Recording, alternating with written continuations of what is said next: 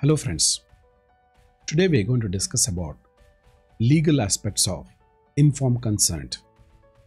I am Dr. Suresh Bada Math, Professor of Psychiatry, working at National Institute of Mental Health and Neurosciences, Bangalore. In this video, I'll be discussing about ethical and legal aspects of informed consent. What are the legal issues with regard to blanket consent versus procedure specific consent? Whether the patients have right to refuse treatment during the informed consent? Are there any case studies or case laws with regard to pre-printed consent forms?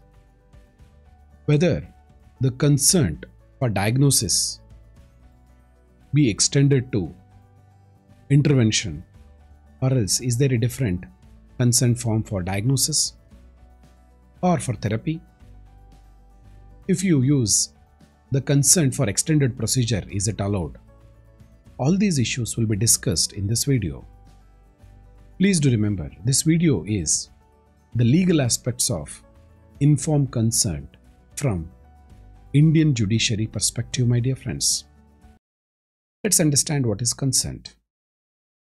Consent means permission or agreement or approval.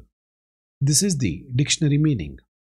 In simple words, it can be considered as permission for something to happen or agreement to do something or to agree to something or give your permission for something. This is what the consent means. However, the consent from healthcare perspective differs slightly from the obligation and liability. Examination of a patient to diagnose, to treat, to operate on a patient without the patient consent amounts to assault in law, even if it is beneficial and done in good faith for the patient. That means, if a physician does some operation on a patient and this decision is in the best interest of the patient, but the patient has not given consent, that means the doctor is liable under medical negligence. The doctor may be charged for negligence if he fails to give the required information to the patient before obtaining his consent to a particular interventional procedure. All this clearly indicates the role of valid consent in medical practice, my dear friends. Let's understand the law of consent. In this consent, we need to understand from two perspectives. This is my own classification. Here, the consent that is substantial law of consent that is principle behind the consent and the procedure of taking consent. These are the two important aspects which are considered in the court of law.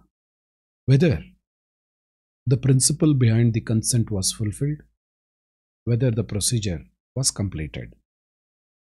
Let's understand. Consent is perhaps the only principle that runs through all aspects of healthcare provisions today. It also represents that the legal and ethical expression of the basic rights to have one's autonomy and self determination. That means the basic foundation of bioethics is autonomy and self determination of the patients.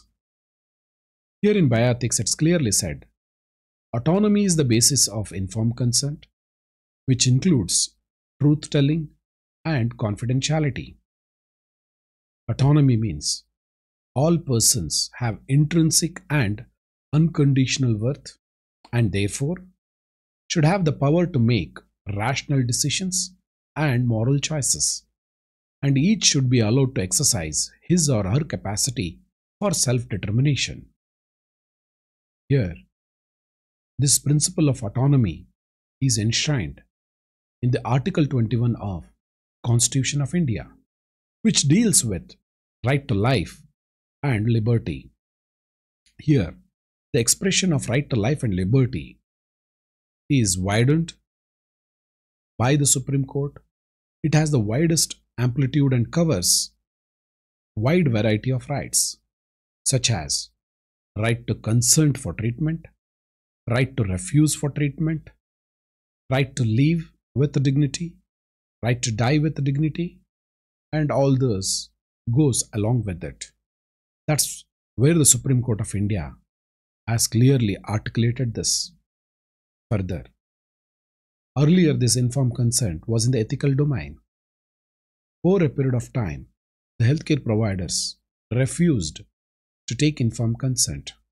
The paternalistic attitude continued. Hence, many of the legislation which are enacted recently, such as Mental Health Care Act of 2017, has defined informed consent. That means it has moved out from ethical arena to legal arena. Similarly, HIV and AIDS Protection and Control Act of 2017 also has defined informed consent. Further, the legislations such as Transplantation of Human Organs and Tissues Act of 1994, New Drugs and Clinical Trials Rule 2019, Assisted Production Reproduction Technology Act 2021, and Surrogacy Act of 2021. All these have clearly defined informed consent in the legislation and which are ingrained even in the rules. Let's understand the procedural part of the informed consent. It may be implied consent or expressed consent. Implied means by the virtue of patient seeking help goes to the hospital, enters into the doctor, doctor's chamber with his own will may be considered as an implied consent for outpatient basis treatment. What is expressed consent? Here, if the patient has to undergo certain examination, which is not routine the doctor may have to take oral consent. That means verbal consent. In certain surgical procedure, written consent is very essential. Many a time, the procedure may be lengthy. Hence, pre-printed consent forms are made available in the hospitals. Now, in the, in the era of digital world, video-based, audio-based, multimedia-based consent is taken. It is not far. ChatGPT can be used for administering informed consent, which will provide a standard information with regard to the diagnosis, the procedure, risk, benefits involved, course and outcome, and also what will be the outcome of the proposed treatment will be told by the ChatGPT Hence, over a period of time, AI, artificial intelligence, and ChatGPT can become the landmark instrumental tool for informed consent administration. Let's look into the legal redressal for violation of informed consent. That is, diagnosing or treating a patient without consent. If a medical practitioner attempts to treat a person without valid consent, then he will be liable under both civil law and criminal law. Here, civil law is nothing but tort law. Tort is a civil wrong for which the aggrieved party may seek compensation from the wrongdoer. The consequences would be the payment of compensation in civil or else imprisonment in criminal law. Further, if the complaint reaches the professional body or else medical council, the license to practice medicine can be cancelled. A medical intervention without a valid informed consent is a criminal offense and the physician can be charged with battery. Based on the injury and the outcome, it can be simple injury, grievous injury, death. The charges can be framed against the doctor. Let's understand the legal protection after taking consent. Under the Indian Penal Code, Penal Code, there are certain rescue clause. The healthcare provider can save himself from criminal liability if they follow Indian Penal Code 1860 and take informed consent. As per Indian Penal Code section 87, let's understand that act not intended and not known to be likely to cause death or grievous hurt done by consent. That means if you're doing an operation with fully informed consent and there is a negative outcome, the doctor will not be charged under section 87. Similarly, Indian Penal Code section 88 act not intended to cause death done by consent in good faith for person's benefit. Again, here, the doctor will not be charged under Section 88.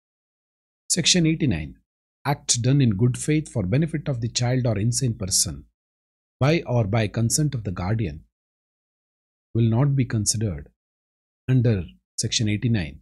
That means consent has been ingrained under Indian Penal Code, my dear friends. Let's understand the ingredients of informed consent. All informations which are provided during the informed consent should have non-medical terms as far as possible and preferably in patient's own language in simple terms should be explained. Let's look into the important elements of informed consent. First and the foremost is nature of the diagnosis, proposed treatment or procedure, what are the alternatives available, the risks and benefits of the proposed treatment, alternative treatment. If the person refuses treatment, what are the risks and benefits? Relative chances of success or failure of the above needs to be discussed with the patient. Here, the information provided is contested by both the patient and also by the doctor. How much risks needs to be explained to the patient. Is it reasonable risk should be explained or else the remote risk should be explained or whether 100% compliance with regard to all risks or material risk are explained. This is the debate across the world, my dear friends. There are conventional method. In conventional method of medical doctrine, the doctors will withhold significant information considering it will harm the patient. That means the patient may have anxiety, fear of a suggested medical procedure. He may refuse treatment or else it may impact his mental health status of the diagnosis if he is given or the intervention proposed. Hence, the doctor used to decide that he will tell the information based upon the requirement. It is a common practice not to tell a patient they were dying and even to deny the information.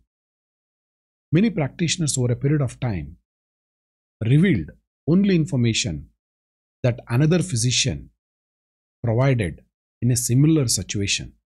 That is called as professional standard of disclosure. This is based upon Bolam's test, my dear friend. This is where conventional method from paternalistic attitude to the Boehlem test came into picture. However, in the contemporary world, it is Canterbury method is approved.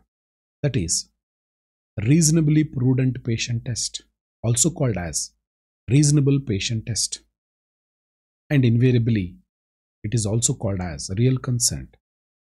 A risk should be disclosed if it is material and it is material when a reasonable person in what physician knows or should know to be the patient position would be likely to attach significance to the risk or the cluster of risks in deciding whether or not to forego the proposed therapy. Consent, consent should be based on the basis of adequate information concerning the nature of treatment procedure so that the patient who is consenting should know all aspects of the procedure so that he can take informed consent. Let's discuss about pre-printed consent forms. During the hospitalization, that is during admission, pre-printed consent forms are given to the patient and patient family members. They are asked to sign. They are asked to sign in various places of the patient file. These are pre-printed blanket consent form. Further, there are pre-printed consent form for diagnostic procedure and also for treatment. Later, now the era has come, pre-printed intervention specific informed consent. Now the question is, consent is taken in a standard consent form. That is, a pre-printed consent form circulated among all the professionals. They take the signature from the patient or the patient party. Whether it is legally acceptable, is it valid under the law, is a big question. Let's understand what is this pre-printed blanket consent form. Here in the blanket consent form, it is a consent taken on a printed form that covers, that is a, like a blanket, it covers almost everything a doctor or a hospital might do to a patient without men mentioning anything specifically regarding the diagnostic procedure or the interventional procedure. Blanket, blanket consent is legally inadequate for any procedure that has risks or alternative not mentioned. It becomes invalid simply because it does not fulfill the principle behind the consent, or else substantial law behind the consent is not fulfilled. This, this is how the blanket consent form looks. Let's read it. These are the blanket consent form given to the patient or the patient party during admission. This is how it goes. I, Mr. So and so, son of so and so, aged, do hereby give my consent for admission to the hospital, investigations, treatment, and rehabilitation purposes. I have been informed about all the risks involved during my admission, investigation, and treatment. If any untoward incident do occur during my hospital stay, I will not hold doctor or the treating team or the hospital responsible for the same. I agree to pay all cost and expense expenses incurred in connection with my healthcare. Signature of the patient, legal guardian, and the hospital staff.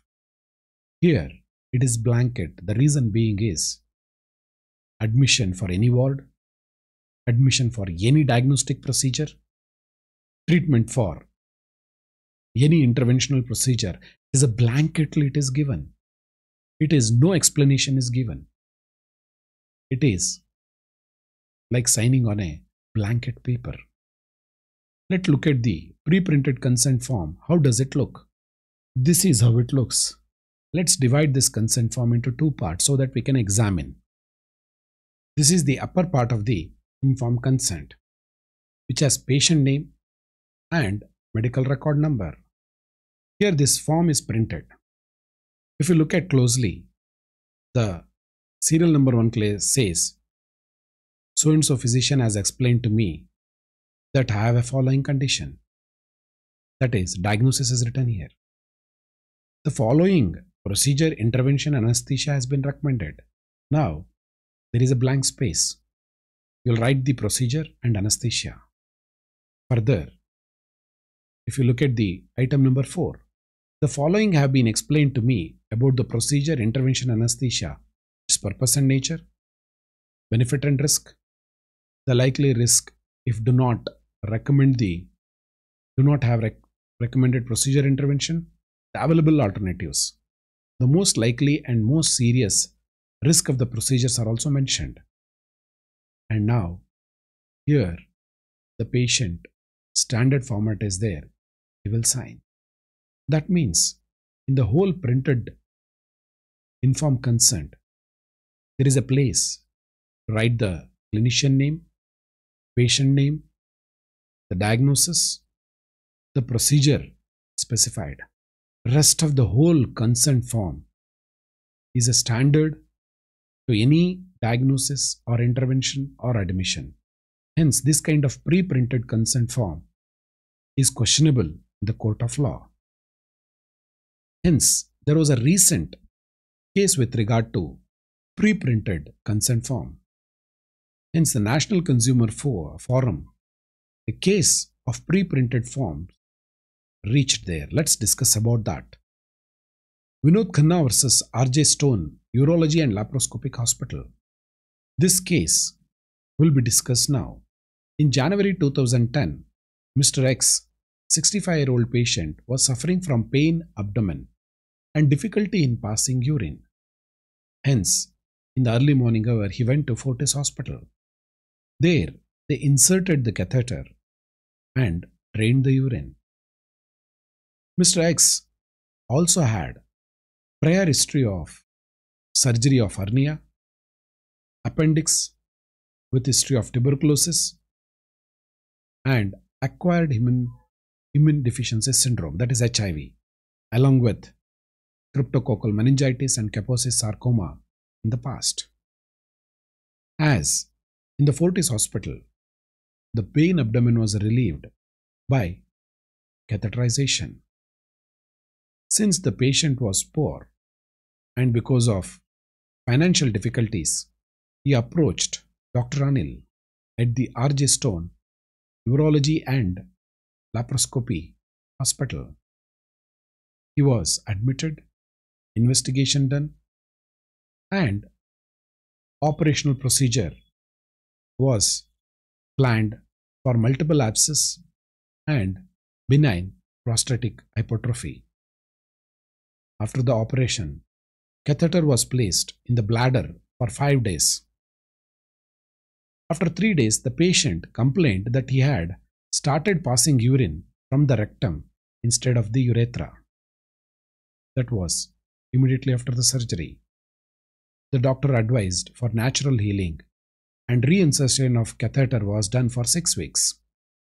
The patient became apprehensive, anxious, and he reached another hospital that is Indraprastha Apollo Hospital and got further treatment there for about three months. But again, it, this did not cure. Hence, again, he reverted to Fortis Hospital.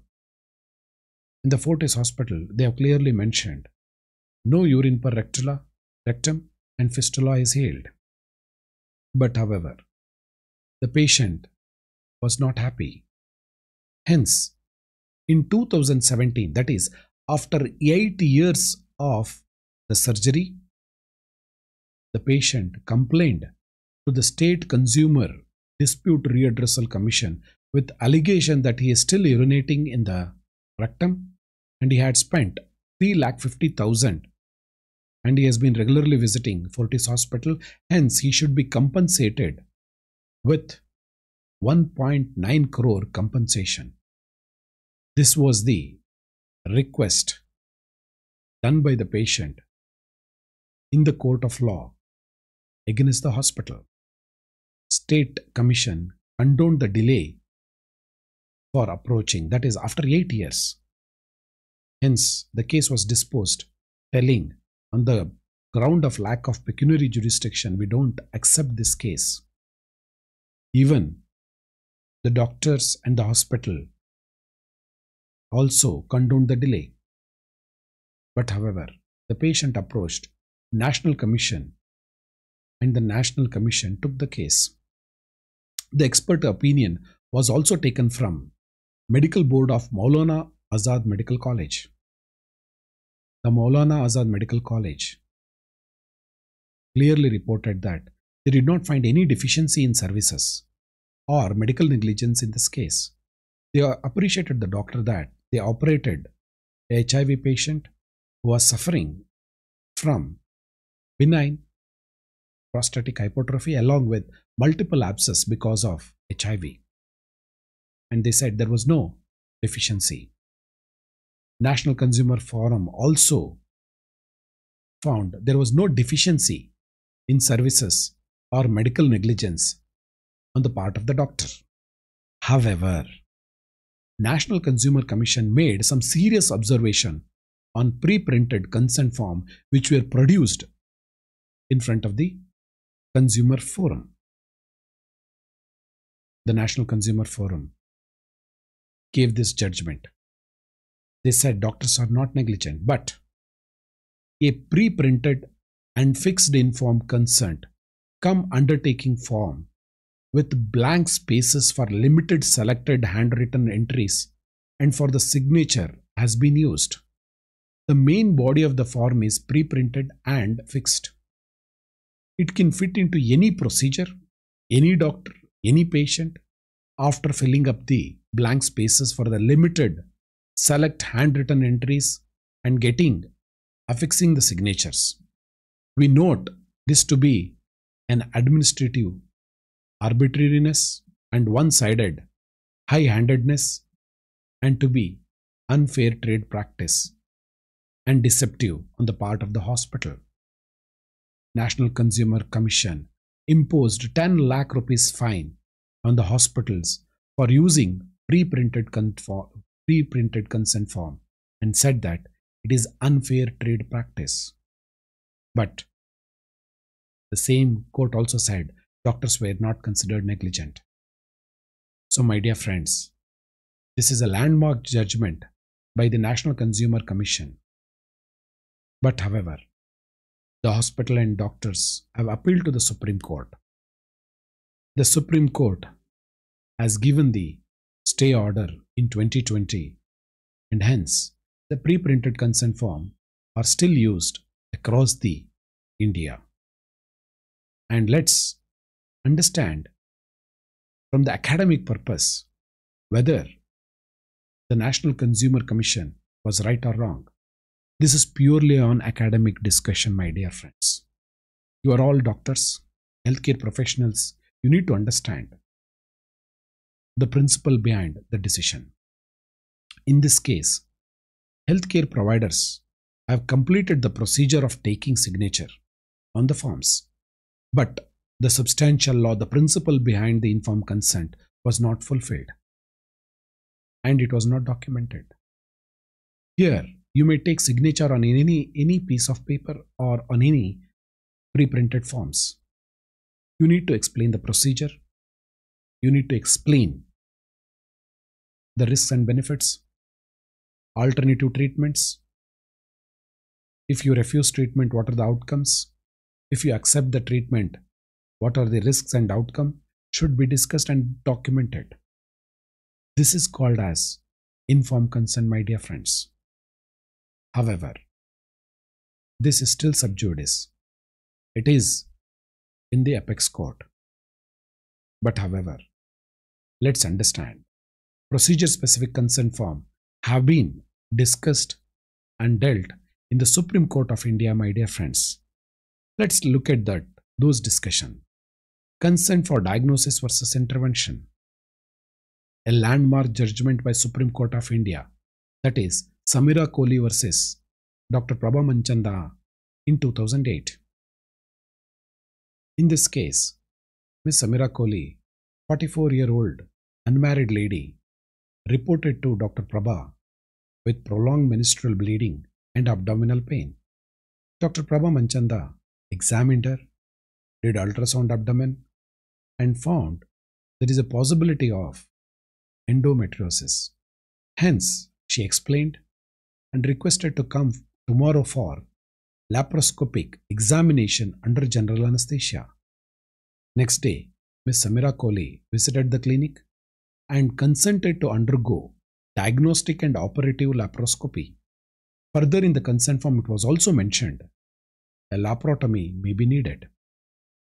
Miss Samira Kohli was put under general anesthesia and laparoscopic examination was done. In laparoscopy, they will put a small hole in the abdomen and through a pipe, they will visualize what is happening inside the abdomen. And they found she was suffering from grade 4 endometriosis. Almost frozen pelvis was there. The doctor decided to go for complete radical surgery to treat endometriosis. Hence, the doctor assistant, Latha R, went outside, explained the mother about the grade 4 endometriosis and need for hysterectomy and bilateral salpingo oophorectomy. Mother gave consent so that the radical cure can be done. Hence, bilateral salpingo-oophorectomy and hysterectomy was performed. When Miss Samira Kohli woke, came out of the anesthesia and when she came to know about the hysterectomy, she became disheartened and she fought with the doctor and left the clinic without paying the bill. Dr. Prabha Manchanda also was upset because they did not pay the bill. Hence, she gave a police complaint alleging that Miss Samira Kohli and her friend had visited the hospital, took treatment, and threatened us and did not pay the hospital bill. And that FIR was lodged.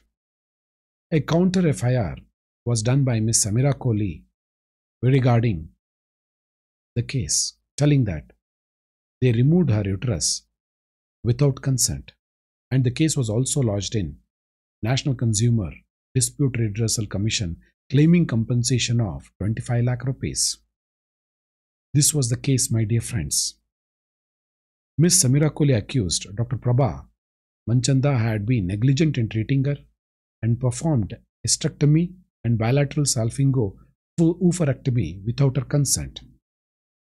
After hearing arguments from both sides, the National Consumer Dispute Redressal Commission dismissed the complaint. But however, she again appealed to the Supreme Court. Here, the National Consumer Forum clearly said that Prabha Manchanda was not at deficiency of services. She did what is best to the patient. It was in the best interest of the patient to do this cure treatment. Tomorrow or day after tomorrow, she would have required this hysterectomy because it was grade 4 endometriosis. But however, the Supreme Court, after hearing the case, came up with a landmark verdict. Let's discuss this.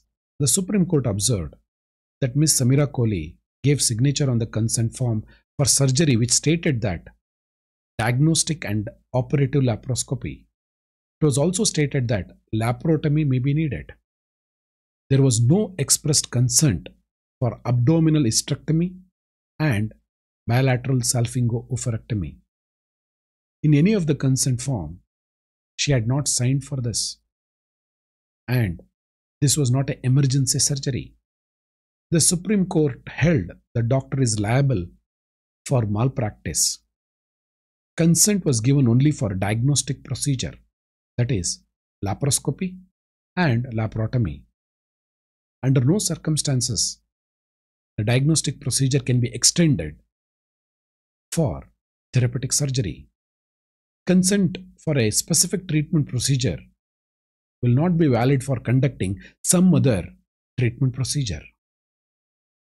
The consent given for diagnostic procedure is not, valid for therapeutic procedure. Hence, procedure specific consent is essential. That's what the Supreme Court said. The Supreme Court held that, however beneficial to the patient in saving the time, expenses, pain, and suffering, additional surgery is no ground for defense in elective surgical procedure. That means the doctor argued, telling that Samira Kohli should have, would have undergone one more operation.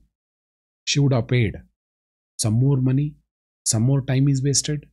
Hence, I did this surgery in a single sitting. Supreme Court said that under elective surgery, this is not allowed. The judge, the judgment further differentiated between informed consent and real consent. Apex Court consciously referred for real consent in India, that is, reasonable physician test or Bolam test should be used for informed consent. And they rejected the reasonable prudent patient test of Canterbury in India. The final verdict was like this. Even assuming the radical surgery, surgery was needed, but it was not immediate.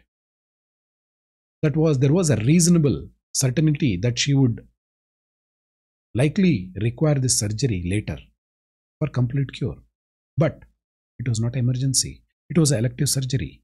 On the facts and circumstances, Apex Court considered that in the interest of justice, following verdict was given. The doctor should be punished, hence, they should be denied of the fees of the surgery, and further, a token of fine was placed on the doctor. 25,000 rupees was fined. The main reason being here is the doctor, although acted in the best interest of the patient, but the consent was not taken. That is the whole essence of the verdict, my dear friends. Now let's understand about the consent for additional procedures, or also called as extended consent form. Consent taken for laparotomy may not give permission for the doctor to do radical procedures. However, if you are able to anticipate possible prior diagnosis or differential diagnosis and you can explain the patient and the procedures which can be done. For example, if the patient has reported with abdominal pain, especially from the right iliac region, the doctor has diagnosed either appendicitis, cholecystitis, or abscess from the psoas. And he proposes laparotomy. And during the laparotomy, if he finds appendicitis, he will remove the appendix. That means he will do appendicectomy. And what are the risk and benefit involved in that, he will explain. If he finds inflamed gallbladder, he will do cholecystectomy. What are the risks and benefits? And if there is abscess, he will do the draining of the abscess, or else there is a possibility one or two conditions may be there in the same patient. And he has anticipated, he has explained the patient. Such consent will stand as valid for additional procedure only if the doctor has explained the patient regarding all the procedures. Please remember, consent given only for diagnostic procedure is valid for diagnosis, not for intervention or surgical procedure. Consent given for specific treatment procedure will not be valid for conducting some other procedure, my dear friends. Any additional procedures may be performed without consent will be considered as battery, my dear friends. An additional procedure can be done only if it is an emergency situation, my dear friends. I'll give an example. If the patient has severe pain in the right iliac region, the doctor has proposed the possible conditions and he has said if there is an appendicitis, I will remove appendix. When he opens the abdomen through laparotomy and he finds there appendix is inflamed, appendicitis is there, but there is a tumor also is there. Now the doctor may take a specimen or else a sample from the tumor without doing a radical procedure. Although this is not an emergency, hence he cannot do radical procedure. However, if he finds there is an abscess which is about to rupture, and if he does not do operation now, the patient may die shortly if there is a rupture. In such a scenario of an emergency situation, extended procedures are allowed, but not for elective surgery or that surgery can be postponed, cannot be done now, they are not considered as emergency, my dear friends. Let's look into consent for illegal procedures. There can be no valid consent for operations or procedures which are illegal. For example, if the patient says, Please give me morphine, please give me ketamine until I pass out or die, even if it is a valid consent and there is no indication for such procedure, then that informed consent becomes null and void, null and void in the face of law, my dear friends. Consent for illegal acts such as criminal abortion is invalid, or helping the people to conceal drugs for trafficking through operations will be considered as illegal and the doctor will be arrested, even though the doctor may say, I have taken informed consent. Consent is no defense in case of professional negligence also my dear friends. Let's understand whether there is a right to refuse treatment when informed consent is given. There was a landmark judgment with regard to euthanasia and mercy killing was was taken by apex court of india. That is common cause versus union of india in 2018 on 9th march of 2018 the supreme court gave a landmark verdict making the way for passive euthanasia the judgment also paved the way for the terminally ill patient to seek death through passive euthanasia, that is, living will. Apex Court also declared that an adult human being having a mental capacity to take informed consent decision has right to refuse medical treatment, including withdrawal from life-saving devices and treatment, my dear friends. In this case, the Supreme Court said that right to refuse treatment is a fundamental right.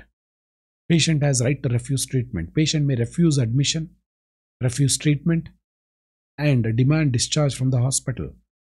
To detain an adult patient against his will in the hospital is unlawful. If the patient demands discharge, refuses treatment, refuses medical advice, that should be recorded. And if the patient's signature can be taken, is well and good. And if the patient and party refuses to sign, please document that also. That is very important in the court of law, my dear friends. Let's look into the consent for research. Consent taken for clinical research drug trial or any research involving human beings requires the guidelines from Indian Council of Medical Research should be followed. Otherwise, it will be construed as medical misconduct. With regard to investigational new drugs, the rules have clearly laid out and they mandate the researcher to take video consent, my dear friends. To conclude, the principle of autonomy is enshrined in the Article 21 of Constitution of India, which clearly says right to life and liberty. Hence, whenever you take consent, please respect the autonomy of the patient. Any consent taken for diagnosis cannot be extended for intervention or surgical procedure. Hence, intervention specific consent should be taken. Right to refuse treatment is a fundamental right as recognized by the Supreme Court of India, my dear friend. Consent obtained should be legally valid from an adult who has mental capacity and free will should be there for his decision. A doctor who treats a patient without valid consent will be liable under the tort and also under the criminal law. The law presumes the doctor to be in a dominating position in a fiduciary relationship. Hence, the consent should be obtained after providing all information to the patient so that the patient is empowered, enabled, so that he takes a decision which is informed so that the procedure can be done, my dear friends. Thank you very much for your valuable time. Stay safe.